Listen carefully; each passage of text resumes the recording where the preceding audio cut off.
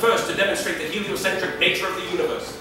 His work in gravitation long preceded Isaac Newton, and his fierce spirit of inquiry ran afoul even of the mighty Roman Church.